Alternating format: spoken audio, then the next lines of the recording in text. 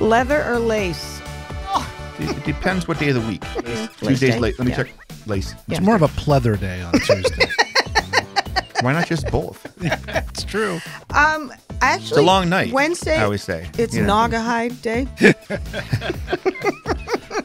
I always love And that I word. had to come here on a Tuesday. Two of my two of my favorite words in the English language are Naugahyde and linoleum. What, what I've never have you ever seen a naga? What, where do they are they from Africa? Yeah, what kind of an I have- animal is a naga? I had two and how do you get up. their hide? You shear them just like sheep. Was that those noises I heard in Dunkirk when I was a kid? A It's just the Naga. Madigans shearing the Nagas again. Naga farm in Dunkirk. Have the nagas stopped screaming? wow.